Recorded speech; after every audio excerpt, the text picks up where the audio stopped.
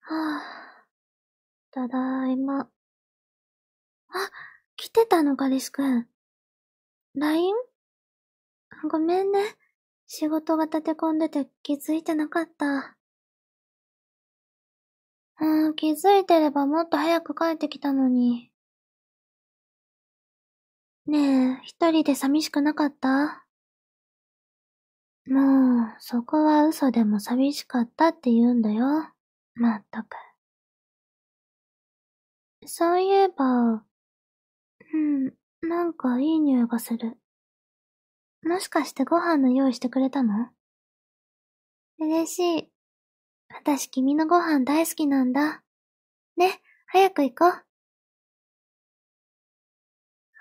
あ、美味しかった。はあ、君が毎日家にいてくれたらいいのに。そうしたら私も仕事の疲れなんて感じなくなるし。うん、わかってるよ。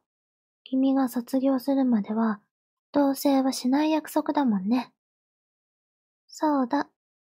今日も学校は楽しかった？そう。それはよかった。もちろん私とのあの約束もちゃんと守ってるんだよね。そっか。それじゃあそんな偉い子には、私がご褒美をあげる。さあ、おいで。はい、捕まえた。君をぎゅーってしてると、仕事の疲れも消えてくよ。抱き心地もいいし、君は本当に可愛いよね。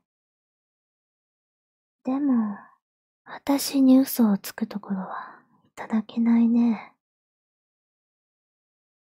はい、逃げようとしない。っていうか逃げようとするってことは、やっぱり私との約束、破ってたんだ。これ、君の同級生の SNS。ほら、この後ろの方に写ってるの君でしょ？ま、確信したのはさっきだけど。ねえ、私と約束したよね？学校に行っても、他の女の子と関わらないって。そんなに怯えなくても、別に怒ってるんじゃないんだよ。ただ、最近私の仕事が忙しくて、一緒にいる時間が短かったでしょ私の愛、君に伝わってなかったのかなって反省してるの。ごめんね。だからさ、明日から少し学校はお休みしよっか。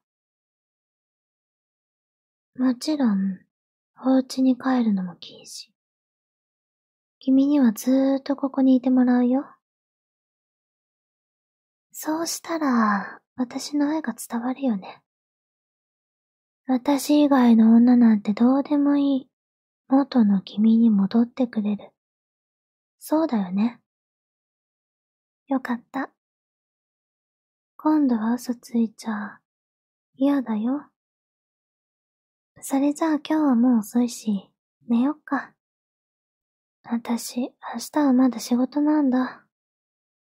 明日の夜、仕事から帰った後、いっぱい遊んであげるから。それまで待っててね。はぁ、もう朝か。彼氏くんはまだ寝かせておいてあげよう。こんな穏やかな朝は久しぶりだな。きっと、君がこの家にいてくれるからだね。さーて、私は仕事の準備っと。あれ？彼氏くんのスマホの充電器抜けちゃってる。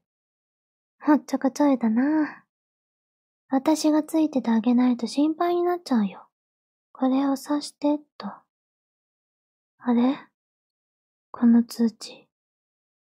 うーん、そっか。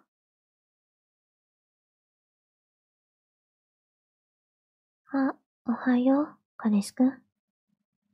ぐっすり寝てたね。おかげで簡単に拘束できたよ。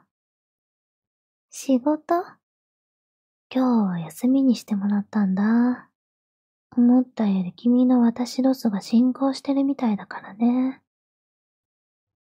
とぼけなくていいよ。偶然見ちゃったんだ。君のスマホ。君に夜遅くまで連絡する女友達がいるなんて知らなかったよ。へえ、勝手に送られてきてるだけ。じゃあ、その子とお話ししてきて、いい？君も迷惑してるんだよね。あれ、歯切れが悪いね。そんなにその子が大事なんだ。いいよ。今回だけその子のこと見逃してあげる。昨日も言ったけど、君の気の迷い、半分は私のせいだから。もちろん今後関わるのは許さないけどね。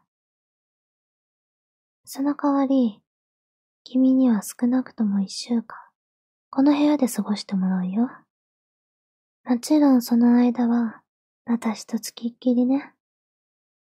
これからの毎日で、君は私なしじゃ、私とじゃなきゃ生きられないようにしてあげる。ちょっと痛いこともするかもしれないけど、全部君のためだから、我慢してね。それじゃあ早速始めようか。君のために、いろいろ用意してきたんだ。そうだなじゃあまずは、これからね。